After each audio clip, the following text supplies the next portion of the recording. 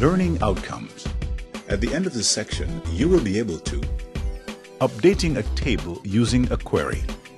Delete query. Introduction. Action query can be considered as a normal select query which is then given the option to perform a duty against a specified section or group of records in the database. Once the specified action is assigned, update, delete, or appended, this will then delineate the action that will be taken against the selected records. An action query is an efficient tool for making bulk data modifications against your database tables. By creating a delete action query in Microsoft Access, you can automatically delete a group of records from one or several tables.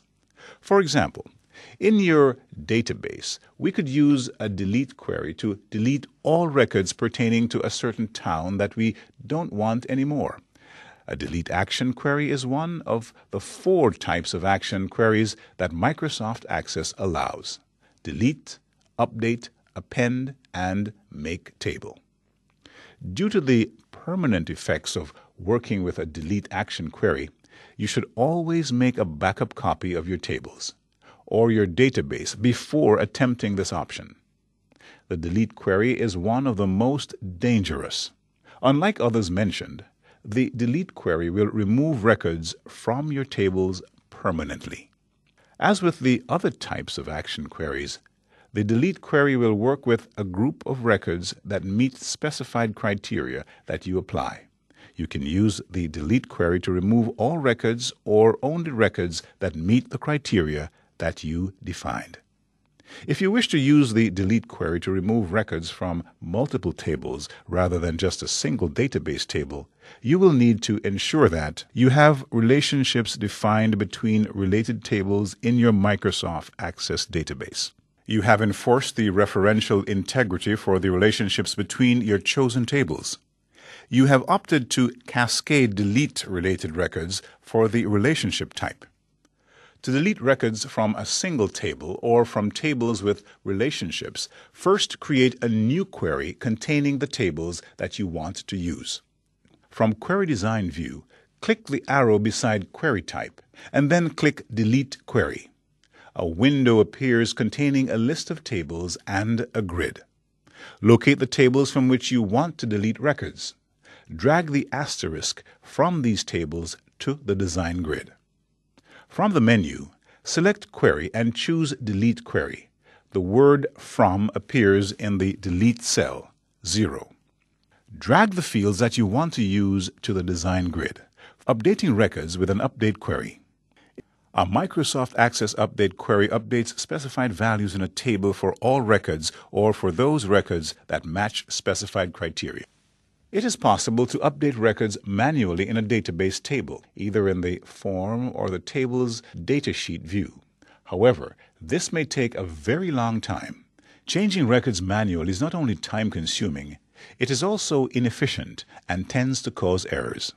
The best way to handle the updating of many records in a database table is to use an update query to make the changes to data in one operation.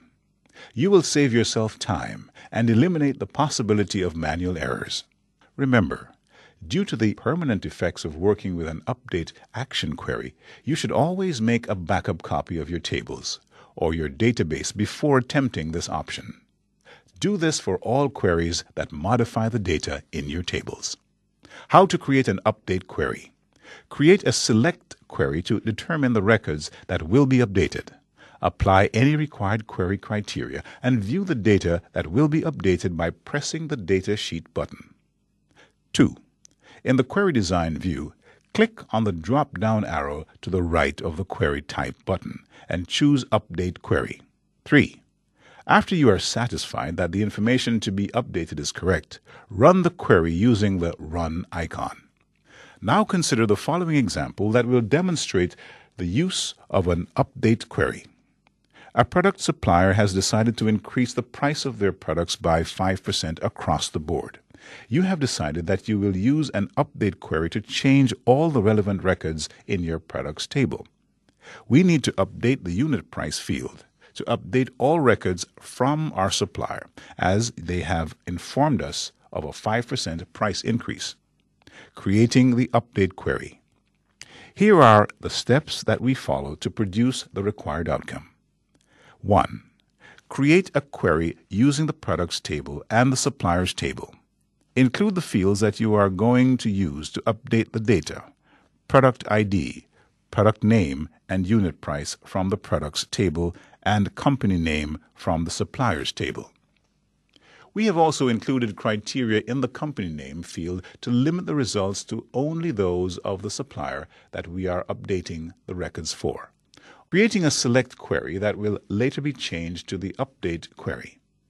2. To check what results this will produce, run the query by clicking on the Datasheet button. Checking the results before running the update query. When we are happy with the resulting data, we can switch back to Design View to convert the query to an update query. From the Query Type button on the toolbar, select Update Query. In the Unit Price column in the Update to cell, type in the expression Unit Price multiplied by 1.03 and press Enter. The expression will update the original unit price by 3%. The query design should now look like the Update Query Design. We now need to run this query using the Run button to update the data in our products table that meets the criteria that is applied. The warning dialog box indicates the number of records that will be updated. Click Yes to accept this. Remember that the update query will permanently update records from the specified table or tables.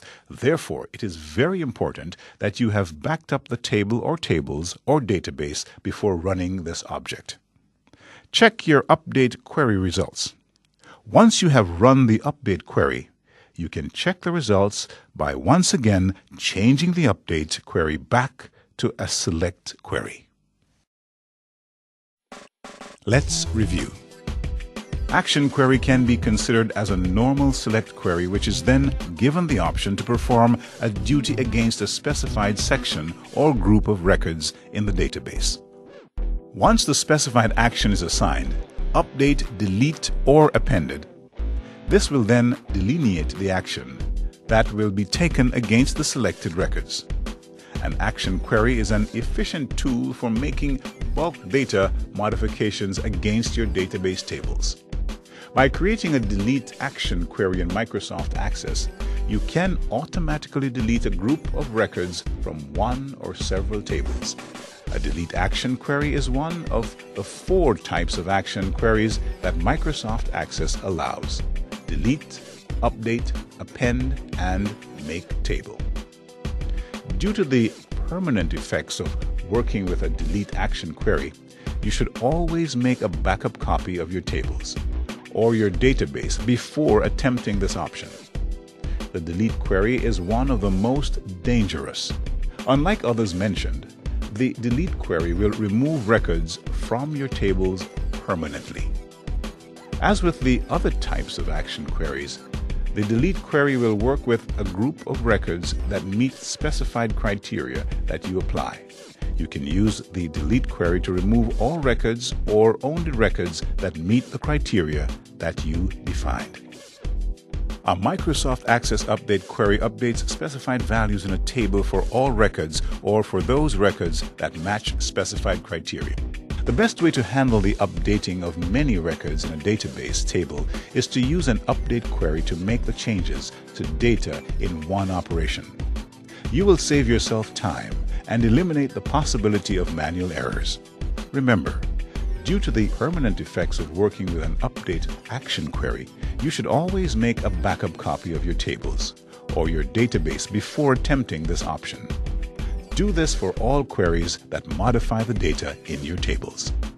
Remember that the update query will permanently update records from the specified table or tables. Therefore, it is very important that you have backed up the table or tables or database before running this object. Check your update query results. Once you have run the update query, you can check the results by once again changing the update query back to a select query.